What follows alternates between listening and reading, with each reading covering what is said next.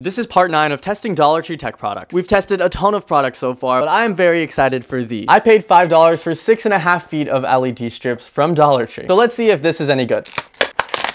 All right, look at this. So these are battery powered, which I think is pretty normal for LED strips, but let's see how good these actually are. So these strips do have this nice silicone cover over the lights themselves, unlike a lot of other brands would just kind of leave them in the open. I'm not sure where I'm gonna put these. Um, okay, I have an idea.